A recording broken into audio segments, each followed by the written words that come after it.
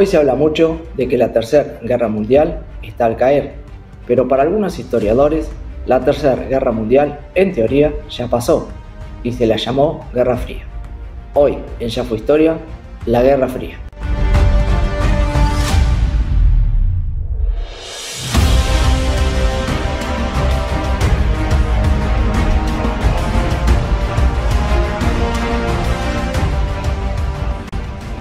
La Guerra Fría fue un conflicto político-ideológico entre las dos potencias vencedoras de la Segunda Guerra Mundial, los Estados Unidos y la ex Unión Soviética, que se extendió entre 1947 y 1989. Durante este lapso de tiempo se polarizó al mundo en dos grandes bloques, uno alineado con el capitalismo yanqui y el otro alineado con el comunismo soviético.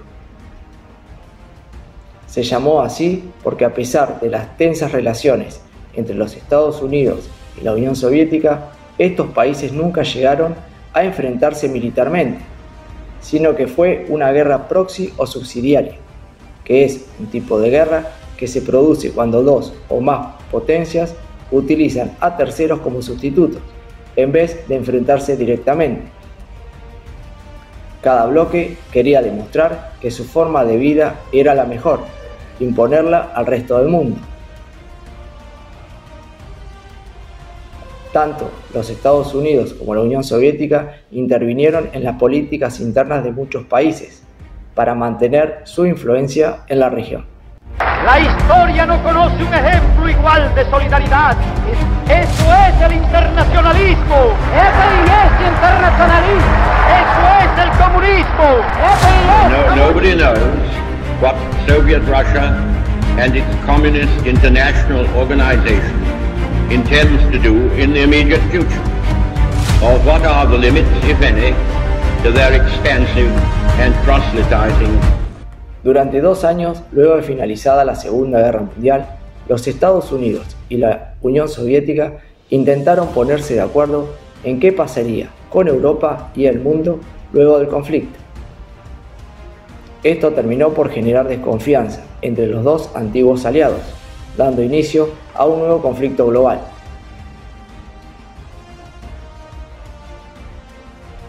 La Unión Soviética pretendía difundir el comunismo en todo el mundo, lo que alarmó a los Estados Unidos. La posesión de armas atómicas por parte de los Estados Unidos preocupó a la Unión Soviética. Ambos países temían el ataque del otro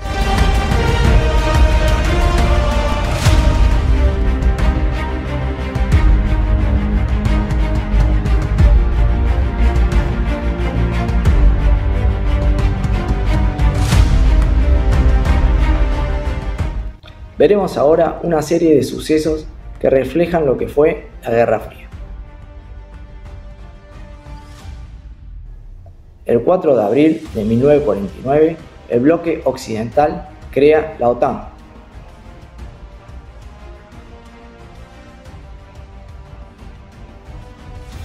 Entre 1950 y 1953 se desarrolla la Guerra de Corea, en 1955, el bloque del Este crea el Pacto de Varsovia para contrarrestar la amenaza de la OTAN. El 4 de octubre de 1957, los soviéticos lanzan el Sputnik 1, dando comienzo a una carrera por la conquista del espacio entre las dos superpotencias. En 1961, la Alemania Oriental construye el muro que divide a Berlín en dos para frenar el éxodo de los ciudadanos de la parte oriental a la occidental.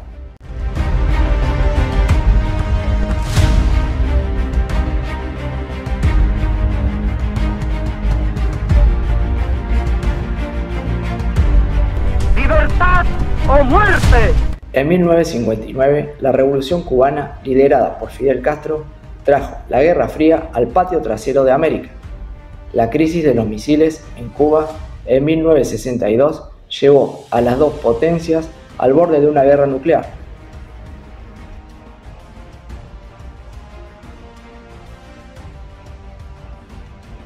En 1965, Estados Unidos envía tropas a Vietnam del Sur para combatir a la guerrilla comunista, conocida como Vietcong, dando comienzo a la guerra de Vietnam.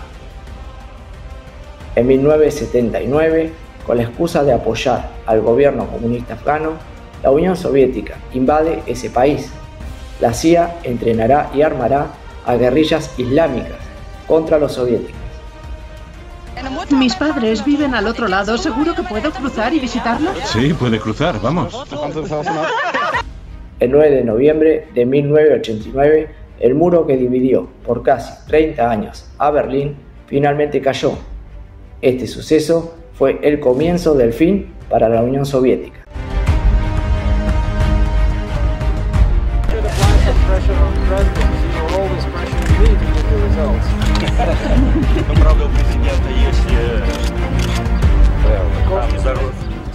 En la década del 80 comenzó el último capítulo de la Guerra Fría. En el bloque occidental, Estados Unidos aumentó las presiones diplomáticas, militares y económicas contra la Unión Soviética. Mientras que en el bloque oriental comenzaba a verse las primeras grietas. La economía soviética acarreaba un estancamiento desde los 70, que se profundizó en los 80 con el excesivo gasto militar. En 1985, Mikhail Gorbachev llega al poder para poner de pie a un gigante que ya estaba de rodillas, pero sus políticas, la perestroika, que intentaba liberar la economía, y la Krasna, que le dio mayor libertad de expresión al pueblo, no hicieron más que darle el tiro de gracia. en mis funciones de la Unión de Repúblicas Socialistas Soviéticas. Sin el apoyo militar de la Unión Soviética, los partidos comunistas que gobernaban en los países del bloque oriental comenzaron a perder poder. Poco a poco, estos países fueron abandonando el socialismo.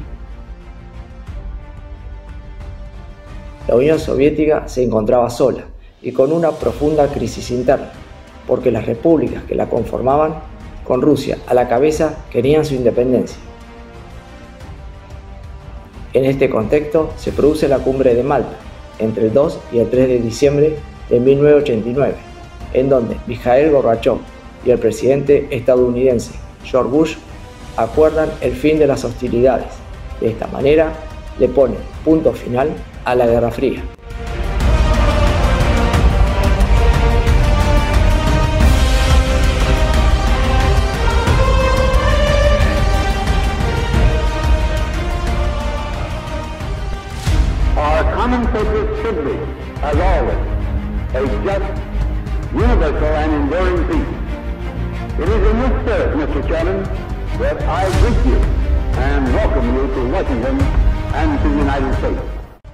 Durante medio siglo, las dos superpotencias se comportaron de forma hipócrita, autoproclamándose las defensoras de la paz y la libertad. Ambas se repartieron el mundo, sin importarle si los habitantes de esos países estaban de acuerdo o no con el capitalismo o el socialismo. Finalmente, con la caída de la Unión Soviética en 1991, el capitalismo emergió triunfal de la Guerra Fría y los Estados Unidos se convirtieron en la única superpotencia del mundo. El conflicto entre estas superpotencias se cobró las vidas de millones de personas en las guerras subsidiarias que se dieron a lo largo y ancho del planeta, así como también miles fueron víctimas de secuestros, torturas y desapariciones. Los derechos humanos fueron repetidamente violados en ambos bloques. Pero debemos rescatar que gracias a la competencia entre ambos países, el ser humano alcanzó un nivel de desarrollo tecnológico inimaginable unas décadas atrás. El programa espacial conjunto entre los dos países son una muestra de hasta dónde puede llegar la humanidad cooperando en lugar de vivir en permanente conflicto.